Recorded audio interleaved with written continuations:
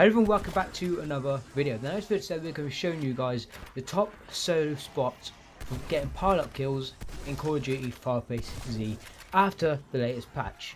Now, this has been in for quite a while now, guys. It was working in the last patch, and it's also working in this patch. Now, it is quite hard to do, but when you get the gist of it, you can start doing it more easily and more frequently, and it does get easier the more you do it. Now, I would recommend starting in the early rounds, and as you can see here, I'm only round 4, but I would also recommend, if you can, to activate Pack-a-Punch before going here, because you will encounter manglers and they will still shoot at you. So, activate Pack-a-Punch, Pack-a-Punch your weapons, level them up as much as possible, get Tombstone, get Deadshot, because that's going to be the best way to get your pile-up kills, critical kills, all them up right away, and this also works with melee attacks in that spot too. So, without further ado, let's get straight into how to do it. Alright, so guys, the first thing I recommend you guys do is get as many points as possible with melee attacks. Now, what you're going to want to do is, since you can't get to the teleporter using the glitch anymore, you must unlock that door. So get as many melee kills as possible so you can unlock the door and get ammo. Because that's the most important thing is getting ammo and possibly even buy a wall weapon. Now, if you can do that, do that as quick as possible. As you see, I'm doing it here very fast and I will in a minute go to that door, open it, then go straight to the teleporter. So let's just give it, kill these last two zombies. There we go.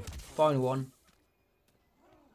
In fact, I'm going to give this zombie a run around. So what you want to do, run up these stairs, go around this corner, and go to the teleporter, and go through the teleporter. Now, once you're at the teleporter, it's literally simple as running straight to the box, which is just outside of it. Now, when you get to this box, it's simple. You just got to walk up to it, jump, then strafe jump on top of it. But whilst you're strafe jumping, you want to pull back as you're entering the strafe jump. Now, don't pull right back on it so you fall off.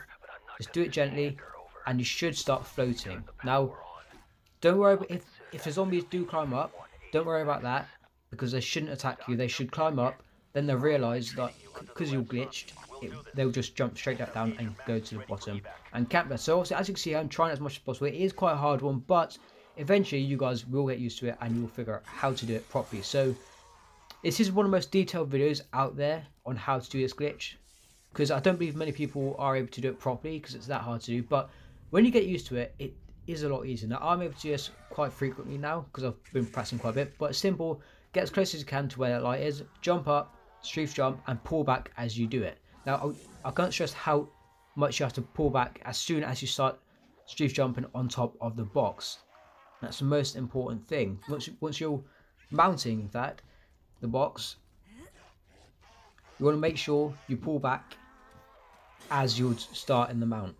Then once you've done that, you should be glitched into it. Now, in a second, I'm going to show a video on how, what it looks like when you do manage to get it right. Alright guys, I'm just going to kill all these zombies and then I'm going to run back around and go back to the box. Now, it's very easy, simple when you get used to it, it is very easy, but start off with it can be quite hard. So I would recommend practicing in the lower rounds, maybe restarting your game if you feel you can't continue on without doing this for the camo grinding.